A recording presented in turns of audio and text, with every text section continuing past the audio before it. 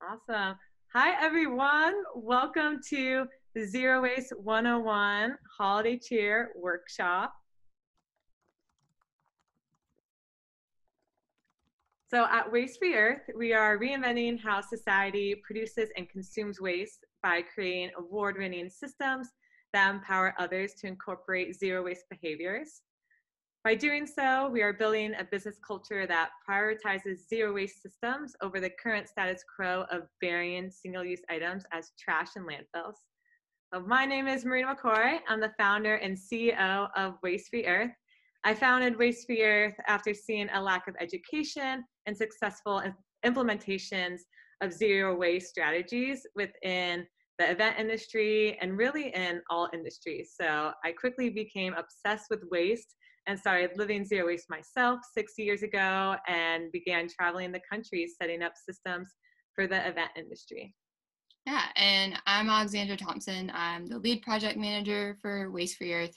Marina and I met about two years ago in Memphis at a festival, um, and we've been working together ever since. And together, the two of us have over 14 years of experience in the sustainability industry. So how the workshop is going to go, we're going to present for about 45 minutes, then have a live Q&A. We have polling questions throughout this, which I'll send our first one now to get an idea of how green you are and what we're working with. So if you could fill that out while I go through the workflow. So please keep yourself muted throughout the presentation Use the raise hand feature for questions during Q&A. If you have questions throughout the presentation, feel free to drop them in the chat. We'll, we won't be answered, answering them during the presentation. Hopefully we go over them. If we don't, then we'll answer them in the Q&A. We would love to see you during the live Q&A, but we totally understand if you want to keep your video off. And please switch to your side-by-side -side mode under the view option so you could see me and Alex together while talking. And we will be sending this out to you all and posting it as a recording. So don't feel like you have to take all these notes because we'll, we'll send it out for you and you'll get the slides along with it. Awesome. Thank you everyone for filling out the survey. Ooh, we're almost there. Alex, if you want to switch to the next one. Yep. So now more than ever, consumption of single-use plastic has actually increased by over 250% since the outbreak of COVID-19. And as a result, residential waste is expected to increase by 30%. So we see this as an opportunity. We've always needed to kind of tackle how much waste we're producing and consuming, but now more than ever, the systems that we have in place are just proving that they're not working. So where do we go from here? Um, we will say it's important to note that no matter how hard you try, you're going to be producing more waste than normal, and that is okay. Um, the whole purpose of this workshop and our workshops in general is to walk you through the steps you can take to reduce your waste where you have the ability to do so. So let's talk about the impact of waste. Before we do so, I'll share the results so you can see how everyone is doing. Looks like we have a lot of people in medium green and the biggest barrier is saying it takes too much time. So hopefully these tactics help you with that. And limited access, definitely. What do you do with your food scraps? It looks like a lot of you are composting, which is awesome. And when you do shopping, do you look for sustainable brands when you can? So great, thank you for doing that. All right. All right. So the waste epidemic. Every year in the United States, 63 million pounds of food gets wasted. Yearly, well, daily, 4.5 pounds of landfill waste is produced by the average American. And 30% of the world's waste comes from the United States, but we hold only 4% of the population. And currently, only 9% of plastic is getting recycled worldwide. And the holiday season honestly makes it way worse. So there's a 25% increase in landfill waste produced during um, the time frame between Thanksgiving and New Year's. Each year, there's 2.65 billion Christmas cards that are sold, and they could actually fill a football field 10 stories high. Um, there's 15 million used Christmas trees that end up in landfills across the United States each year. And 40% of all battery sales occur during the holiday season. And we think this is really important to note just because batteries are one of those hard to recycle items that can't be recycled curbside. And so when you're thinking about gift giving and giving gadgets and, and tech, thinking about uh, renewable or uh, rechargeable batteries. But so we're gonna do another quick poll. Um, which of these items as a game do you think is recyclable? So for reference, A is um, wrapping paper, B is a holiday card, C is uh, gift bags, and then D is aluminum tins. And feel free to drop in the chat. I actually forgot to update this poll. So write it in the chat and we'll go over them.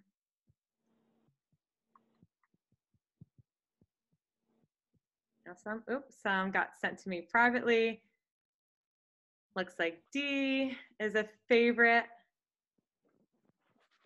Alex, do you want to go? Yeah.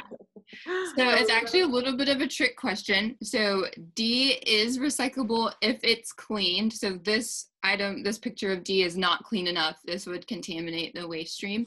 So it has to be pretty darn clean um, for it to be recyclable. And actually B as a, a card could be recyclable if it's plain paper. Um, once you start to add like the glitter and the glue and the lamination to cards, they no longer become recyclable. Um, so that was a little bit of a trick question. so now we're going to talk about the foundational waste-free behaviors. So at Waste Free Earth, we have this waste-free living timeline that we really like to go over every time we teach a workshop because before you get into all the other stuff, it's really important to lay the foundation and to always think about waste differently because that's our mission here is reinventing waste. So first, you want to inventory your waste. Second, you want to list three things to eliminate. Three, you want to list three things to reduce. Four, swap it out. And five, collect your waste. And we'll be going through these in detail. Yeah. So like Marina said, the first one is to inventory your waste. So going through your trash can and looking at what you're throwing away. That's the first step in figuring out what the problem is, is uh, realizing what you actually dispose of. So we have three waste streams that we um, prioritize, and the first one is compost. So food scraps, uncoated paper, plants. Second is recycling, so your plastics ones and twos, the glass, the aluminum, and then landfill. So like your plastic bags, your plastic wrappers, like small plastic cups, like for yogurt. So really identifying what exactly you are throwing away. Mm-hmm and you could do an all-star be an all-star and go through your cabinets and refrigerator and really start to identify which waste streams i made a spreadsheet about six years ago when i was in school so i'll be more than happy to share that with you if you want and then once you have a better idea of what you are throwing away you can list three things to eliminate so this might seem like a big step at first, but there are a lot of things that we've accepted into our daily life that we haven't questioned in a while. They just become habits. Um, so, three things that we say are really easy initially is you know promotional mailings, paper plates, candy and gum. Like for me, I um, support a lot of different nonprofits, and I get like mailings all the time about what awesome work they're doing and and calendars and it's really awesome and i'm glad that i get those things but having so many of them they just clutter my desk and i don't use them so it would be best if i that i did just reach out to the nonprofits and say hey appreciate the good work i'm still going to donate but please don't send me any mail um, then so that's just like one easy thing that you might not be thinking of just you can eliminate right away that you didn't ever really ask for and list three things to reduce. This is one of my favorite examples because when I used to eat yogurt, I had all of these mini yogurt containers and I didn't even think about it because I thought that it was really convenient when I was in school, going to college, and spending late nights in the library. Then it dawned on me one day that I could buy like the bigger size of it. So I started buying those instead and slowly faded out having the single use ones and just made my own yogurt parfaits. We really like people to repeat step two and three as much as they can. And we understand that you can't eliminate everything from your daily habits or monthly habits. So it's important to start reducing where you can and knowing that that's still a big effort and it won't make a difference. Swapping it out, we have this at the end of, well, close to the end of our presentation with the foundational skills because living zero waste lately has become really consumer based and that's not true zero waste. There's all these new brands coming out which is great in theory about sustainable alternatives but in reality it's best for you to rethink your waste and actually reuse it as much as possible you could reuse your own ziploc bags that you already have you shouldn't be going out and buying new things when there's stuff already at your house but these are some simple swaps that you can make once you use all the other stuff up so reusable bags Instead of plastic wrap, you could use Bee's Wrap. That's one of our favorite things, and it's local to Vermont. Using reusable water bottles, which you could also get at the thrift store with hankies and reusable bags. I love my hanky, and I'll get into that more in the presentation. And using reusable utensils that you could bring with you, you could take them from your drawer in the kitchen. And then once you run out of the Ziploc bags and you can't reuse them anymore, by washing them, switch over to silicone reusable ones. Yeah, and if you do decide to buy sustainable items, keeping in mind that you don't have to buy them all at once or throw out everything that you have and buy all at once. Um, I have a monthly subscription to a company called Mighty Nest, and each month for $12, they send me a sustainable swap.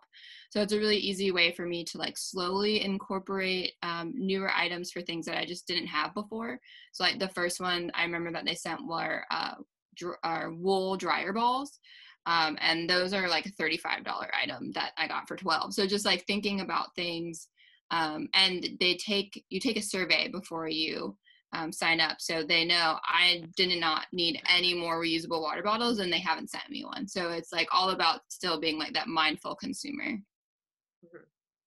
And so once you've started to um, reduce and eliminate and swap out, then you can start to collect and inventory your waste. And we say do this short term, it does not have to be a long term yearly thing, like try for a week, try for a month. And then you can start by picking certain things. So I want to see how much plastic I produce for a week. And so I'm going to collect it all in my jar. Um, it's a really great way to see visually how much waste you are producing because like as human behavior, we like to believe that we're doing better than we are. And then when you see it in a jar sitting on your kitchen counter or on your desk, it really just illuminates where progress can be made. Yeah, we have gotten used to just out of sight, out of mind, and just that human behavior. When we consume something, we just immediately discard of it. So, although you might think that you're not producing that much waste, once you hold on to it, you really get to see where your waste is coming from.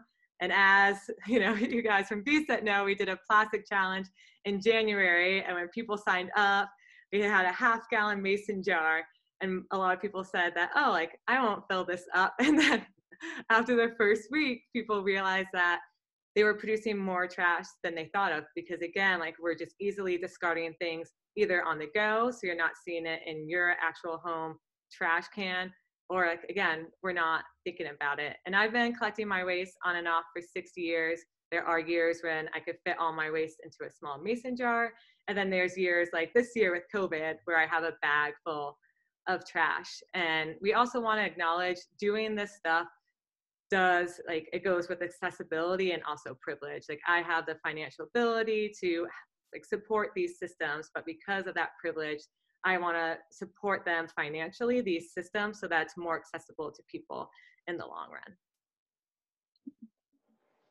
And we have types of composting here at the end, but it's really something that can be started today in a few hours or tomorrow. So we don't include it on our Waste Free Living timeline specifically as any certain phase, but um, there's four common uh, co- types of composting these days.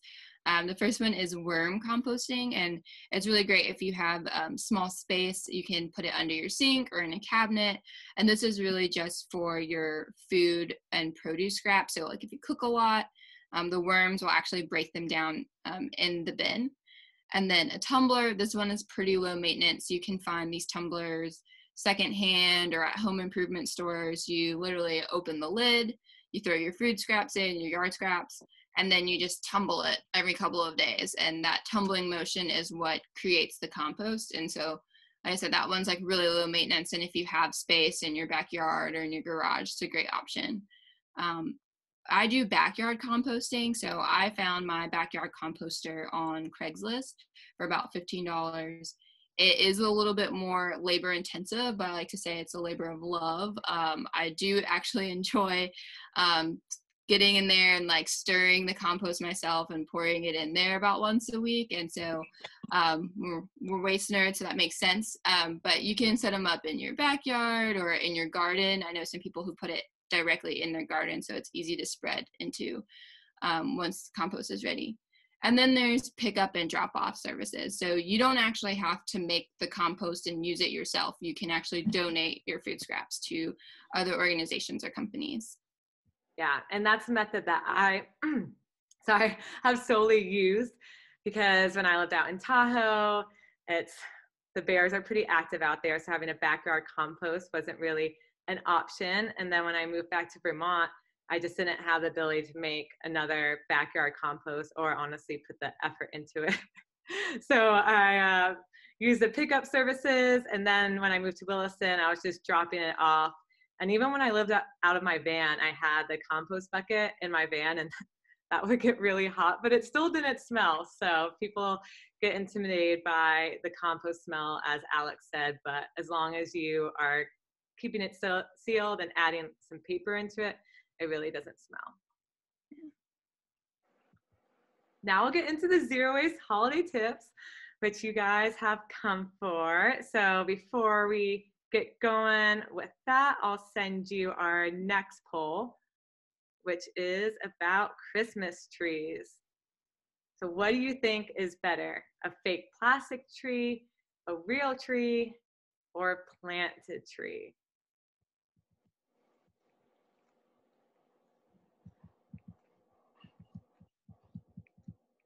All right, so Alex, you could go to the next one.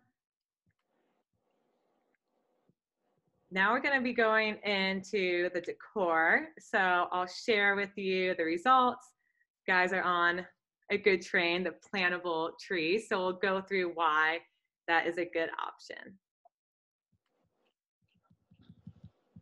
So we have this good, better, best model at Waste Free Earth because we understand that not everyone can jump into the best option. And the best option is best option for now. It doesn't mean that'll be the best option a couple years from now because the sustainability industry is always changing and we're always getting new facts.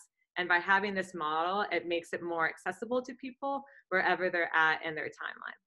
So the good option is buying a fake tree from a secondhand or discount store to use for years. And don't forget to check your local marketplaces like Craigslist, Facebook Marketplace. I get a lot of stuff from there really discounted. Try your best to avoid buying a new plastic tree because that's one of the worst things that you could do. Better is buying a cut tree because for every tree that is hard, that is cut down, they actually are required to plant two trees. Especially if you're in an area just like Bur- Burlington, and a lot of other towns, it actually gets turned into mulch or composted. So trees are a renewable resource because of that in itself.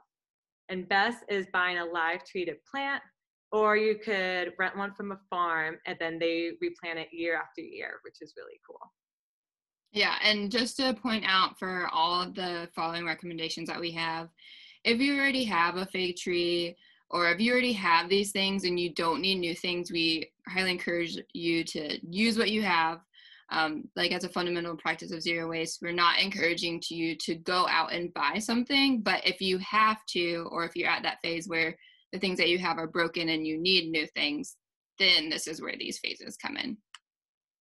Um, so getting into decor Um, so a good option would be to buy decor through that discount or liquidation center, or to choose from sustainable retailers that you know are going to um, ship without plastic or that are local and you can pick up um, all those kinds of things. A better option would be to buy secondhand decor.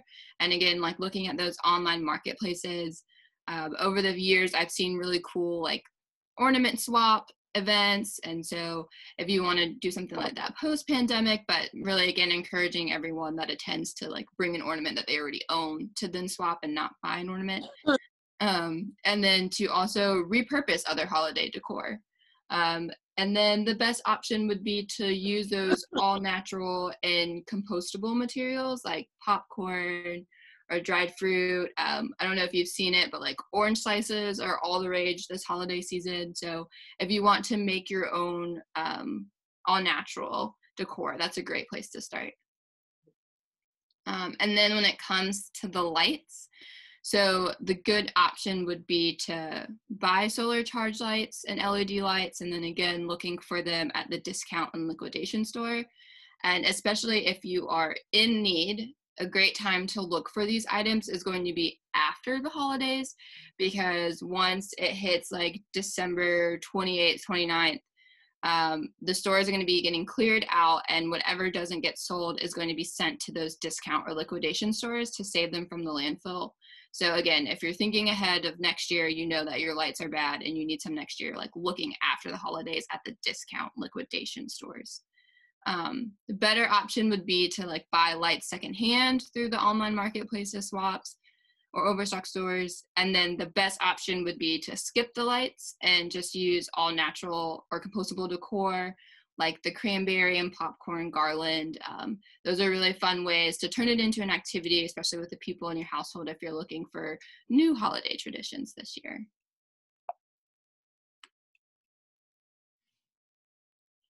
All right, so now we're going to get into the gifting for the holiday season. All right, and then as we go through this, we have a poll for how do you shop usually. There we go. And we'll share that.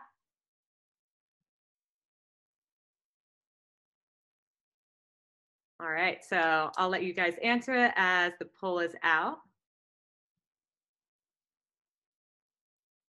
Awesome. And Alex, you could go to the next one and I'll announce it after this. So gifting in our good, better, best model is buying versatile products and really making sure that they're functional and they're not just meant for one thing. And from sustainable brands and small businesses. Better is buying, again, the versatile, functional products, but at like a secondhand store. And that's when things get to be a little bit more personable and one of a kind because it's hard to find the same thing at a secondhand store. So that has a little bit of a special meaning and then the last resort for the better option is going to those liquidation centers. We have it here in Vermont, which is actually the Vermont discount store. It's really awesome. I've actually got my bed there for really cheap. Best is gift experiences. And that doesn't mean just live experiences since that's a little bit limited right now due to COVID, but you could do an Airbnb experience and like be making this awesome Spanish dinner with people over in Brazil together over virtual experiences, which is really cool. Doing activities and just spending time together, either in person or online, whatever you feel more comfortable with. And it doesn't have to cost any money. Packaging. So, right now, the big rage is having um, reusable scarf ones or like any type of fabric and there's actually new companies coming out with that but we just want to say that that isn't the best option to use especially if you're buying it new because then unless the person's actually going to reuse it it's just going to be discarded or just sitting in their shelf or drawer for however long. But if you already have the fabric or you're getting it secondhand then yeah that's a great option Better is using old newspaper or paper packaging like from Amazon to wrap your gifts in. And the best is using no wrapping paper at all and hide the gifts instead. My dad actually started doing this for me a couple years ago because I didn't want to have any of the stuff packaged. So he would have it behind the tree and make a little scavenger hunt. And yes, I was in my 20s while he did that. Uh, and here I'm going to share the post with you before we switch over to Alex. And awesome holiday shopping, you guys are bringing your bags. Sometimes people forget that. And where do you do most of your shopping? Awesome, in person and sustainable local retailers. Thank you. Sweet. So, and then when it comes to holiday cards, like I mentioned earlier, there's over two and a half billion that are bought every year. So, looking at a good option would be to buy those homemade and seed paper cards from local shops or online marketplaces like Etsy. Um, and if you've heard of, um, if you haven't heard of seed paper before, it's actually hand homemade paper that has seeds in them. So after someone gets done reading the card that you wrote them, you can rip up the paper, put it in some soil and water it, and it'll actually start to grow. So that's kind of like a double duty gift. And then just a reminder if you do buy online um, or from local shops, like ask them not to package in plastic, especially with um, online sites like Etsy. You can have like a note section, and I usually do this for all my orders. I just say, hey, please use as little plastic as possible when you ship me this. Um, a better option would to be make your own cards out of recyclable and upcycled material.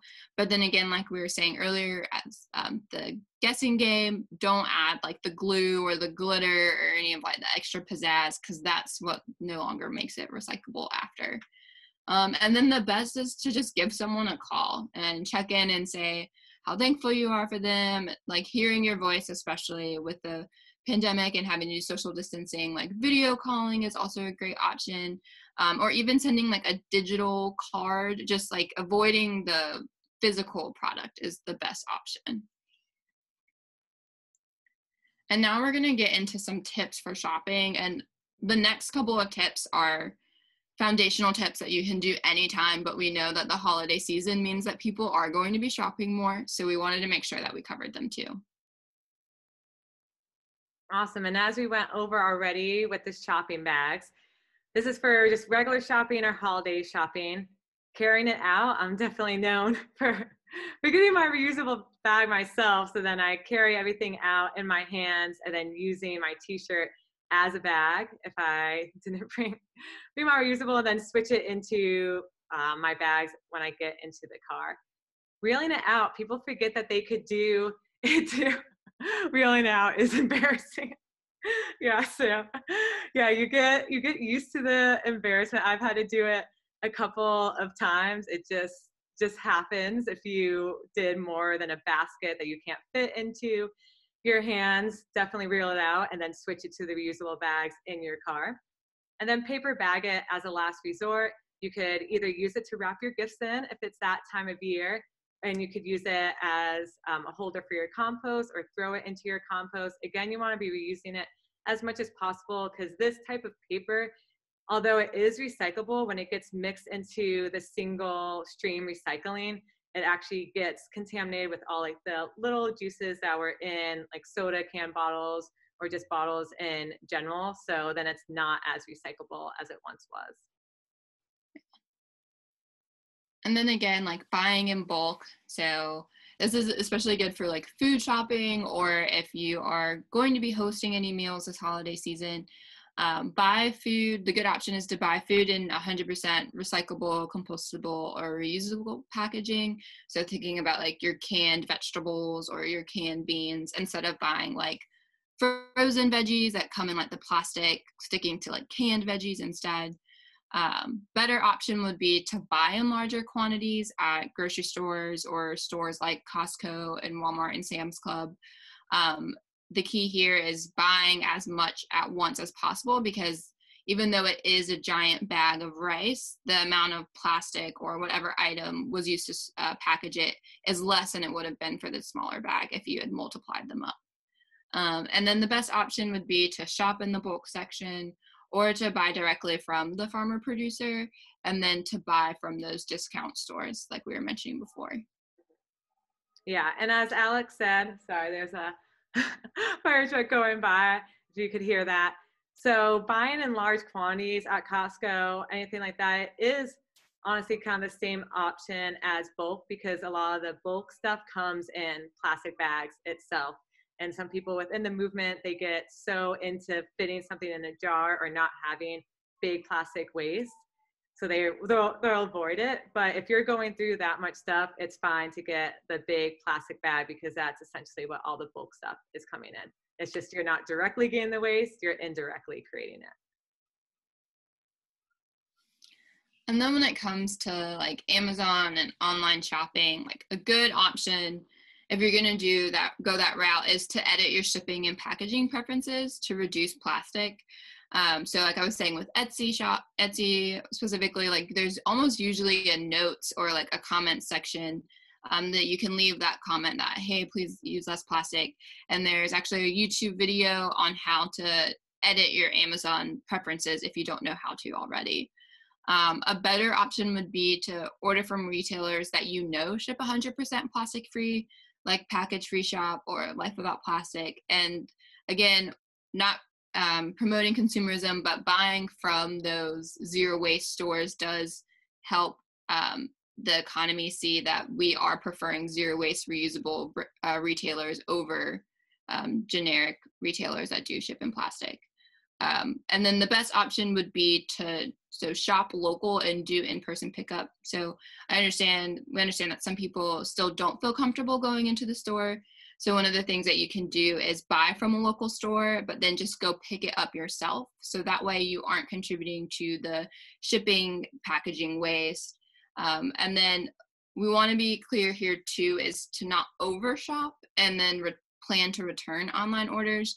So a lot of people don't know this, but when you order items online and then you return them, the retailer is most likely not going to spend the time to inspect your return to see if it's damaged, if it's um, clean, if it's sanitary. So they actually will probably put that item to the side, and then after the season, they'll end up landfilling it or incinerating it. So just because you're not losing the money because you get your money back, it still means that that item is probably going to go in the landfill. So it'd be best to buy little at first and then go and buy more if you need to, then to buy more all at once and then return what you don't need.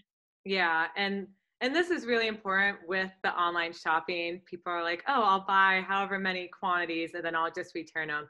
So this has become a really big race issue within the past couple years as online shopping becomes more um, accessible and affordable compared to going to an in-person store where you could try on all this stuff and people are now sending multiple different sizes to their house.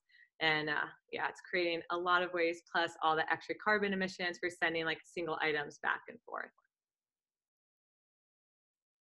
Now tips for eating. Whether you are spending time together just with your roommates or gathering in a small group setting under eight or 10 people depending on your covid restrictions in the state so important to stay safe during this time reusable utensils so again if you're in like a small or large group once COVID has uh, isn't as a, a, pandemic that we're in right now.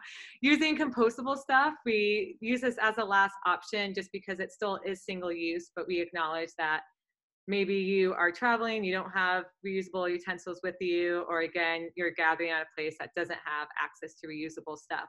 But making sure the compostable items are actually wood or bamboo and not the compostable plastics because those really aren't compostable in the long run. They need a really high temperature um, to actually break down. So go for the wood and the bamboo if you can.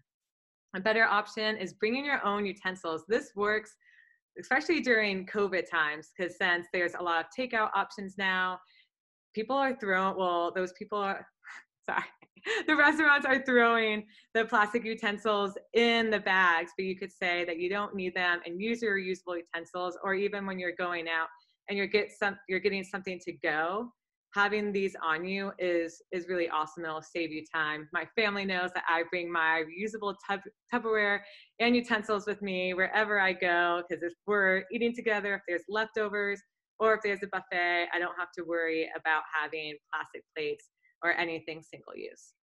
And the best option is using what you have. Again, you don't need to buy all this latest fancy zero waste gear to be zero waste. And you could eat with your hands, which I'm also known for doing.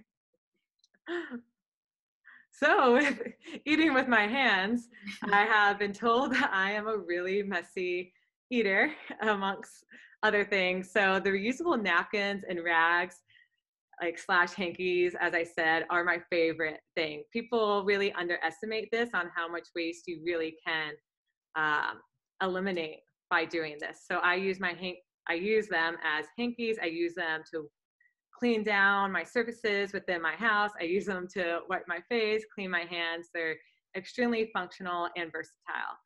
So the good option, which people tend to think as the best option, is buying the new and 100% cotton cloths that can be um, burned or composted at the end of their life, depending on a compost facility. Um, cotton is a really water intensive crop. So again, try to avoid it if you can and not buy it new, but it's still a good option nonetheless. Better is buying them secondhand at thrift stores. So if you go to Goodwill, they have the thrifty rags. And again, with the zero waste movement, some people say not to buy it because it comes in a plastic bag, but in all reality, you're helping divert things from the landfill. This is stuff that they couldn't end up putting on their shelf, the things that people donate that they know they really shouldn't donate, but they want to get rid of them and they have some holes in them. They turn into rags, and you could use them all over the house to clean things or use them as your own hanky and stuff like that. And best is using what you have. I make my own reusable hankies out of t-shirts that I had. And also I found that t-shirts don't really clean my mirrors that good. So when one of my towels is on its last limb, I end up cutting it up and I use them to clean a lot of the surfaces just because it's a little bit more absorbent too. Yeah, and then when it also comes to eating, most likely you're going to get thirsty. So we understand that most people um, don't still use packaged water, but some people still do. So we have this in here. Um, the good option is to buy in highly recyclable packaging like the aluminum cans and bottles, and that goes as well for other types of beverages like soft drinks, um, alcohol, just like looking for that um, recyclable packaging or reusable, like even the twist top aluminum waters, you can reuse that bottle. Um, a better option would be to refill at the store. So you can buy one of the big jugs and refill it at the store yourself, or for sanita- sanitation reasons, if they're not allowing you to bring your own container, you can buy a container from them and refill. So you're still getting that filtered water, but you're getting it in the bulk quantities. And then you can get a dolphin water pump at the top to make um, getting the liquid easier. And then the best option would be to honestly just drink the water from the tap or filtered water systems like a Brita pitcher in your fridge or charcoal filters. Um, we understand people might not have access to um, filtered tap. So that's why we just wanted to include that as the best option. But if you don't have access to the tap, you can always filter your own water and then have that in bulk for glassware bottles. Yeah, and especially if you're already hip to this with bringing your own reusable water bottle, people around you may not be into it as much or easily forget about it. My family, they're switching more over to reusables during uh, family gatherings, but still the cases of plastic water bottles make an appearance, appearance almost every time. so trying to wean them off of that. And it goes to because they have um, one of the filtration systems within the refrigerator, but that takes a while to fill up, and especially if multiple people over. So having that better option is really good with being able to buy a couple of the five gallon or 10 gallon options and putting the dolphin pump on because it's still being filtered and people could use them more quickly and they're really um, transportable too. So if you're having a picnic out in the summertime with your friends or your family members, you could bring that with you instead of bringing the single use bottles. All right. So no, we just went over a lot with you all. So we wanted to open up for any questions. And feel free to, you know, unmute yourself if you want to ask, or you can also drop a question in the chat. Yeah, and thank you for keeping the chat so active throughout it. This was awesome to see see it active. Um, one thing I want to say, Emily actually sent this to me privately. I think it was meant to show everyone, but what's a good brand of silicone storage bags with a square bottom? So Stasher Bag actually makes ones that can stand up on their own. They're, it's definitely one of my favorite ones to use. And we have links in it as well. So, and we'll send up the last poll too as some questions come in just to see how we did. We're teaching more workshops, so we would love to get your feedback. The only way that we can improve is to know how to improve and also the time frame. Like I know that we have some people in here that are in Colorado or California trying to figure out what works best for everyone. Yeah, and Marina Sam did just ask why can't you recycle wrapping paper? Oh, yes. Yeah. So wrapping paper is usually made with multiple different stuff and has a layer of plastic on it or glitter within it. It's super shiny. And then also, like, if you feel it, you could kind of feel the plastic on it. It's subtle, kind of like how receipt paper is that way. So if you can avoid using wrapping paper, do it. If there's already wrapping paper at your house, use it up and try to reuse it. There was a time when I used to try to open my gifts up very carefully so that I could reuse um, the, the wrapping paper for years to come. And if you're wrapping with other ones, make sure that you use paper tape because that is uh, that will actually make everything compostable or recyclable. Again, with wrapping paper too, if you still want to have it, you can usually buy it secondhand or at a liquidation center. Yeah, or you know, like get craft paper um, the brown material and then you can draw on it yourself with like the fun designs if you think that that's too plain. There's definitely like room to be creative um, when it comes to like wrapping packaging. Oh so for paper tape we'll add this in when we send off the recording. So i'm blanking. Oh package free shop has has paper tape. I've been thinking about the packaging stuff that we've actually been sending to clients. But you don't need to do that. You could just buy some rolls at Package Free Shop. And if you don't want to buy online, there's actually some stores, UPS, USPS, and UPS actually have pack um, paper tape available there. Oh, I like that daughter's work artwork. That's awesome. And Alex, if you want to flip through to, to show yeah. people that we have some tips at the end. Yeah, um, so before we get into the final reminder, just give you a teaser of what else we have in here. Um, so we have linked to some of our favorite uh, recipes. So for like your DIY hand sanitizer or disinfectant uh, wipes, you can check those out. Um, these are also things that would make great gifts. So like, um, so our favorite things for the bathroom and our favorite things for the kitchen and for just everyday living and again we do have at the bottom like using what you have and shopping secondhand is priority. We're not encouraging you to purchase but if you do need to purchase these are great options. Um, and then just as final reminders um, so we don't need everyone living zero waste perfectly. Um, it's great to just make progress where you can and those small changes and rethinking waste really does lead to big impact and now that you have this knowledge, use it for good. So some of these things you might already be doing or you already thought of, but chances are there's someone in your immediate circle that is not. So inspire your family and friends to make those smart, sustainability focused decisions when you have the ability to do so. And then it's really important that we collectively all start advocating for things we want to see in brands and the consumer marketplace. So ask for less plastic packaging from your favorite brands. Ask them to not ship with um, bubble mailers or with the packing peanuts. The more that we talk about this and actually talk to the brands that are doing these things, the more that they'll take notice and change. Um, Marina, if you want to touch on the stats, yeah. Yeah. So there's definitely a big disconnect between what the consumers want and what the consumers are actually telling the brands. So in a study, 88% of companies, I mean, of 80% of consumers said they want brands to help them be more environmentally friendly. but only 28% of consumers said that brands were helping them be environmentally friendly.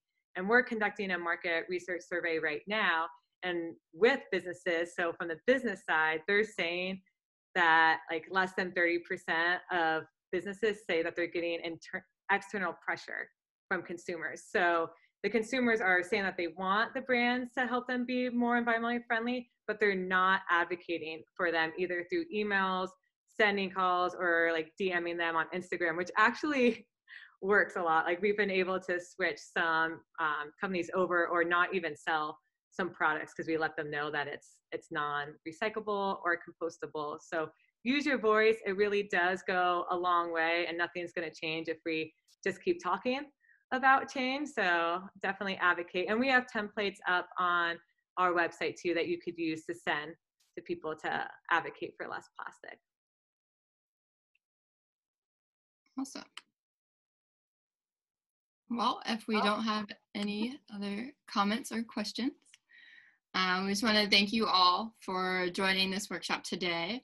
We're really excited to work together towards a waste-free Earth. Um, we, like we said before, we will be sending this presentation out and we're always accessible if you have any other questions or comments that you might not want to ask right now. Mm-hmm. Yeah, and I want to touch on what Celia, Celia or Celia said.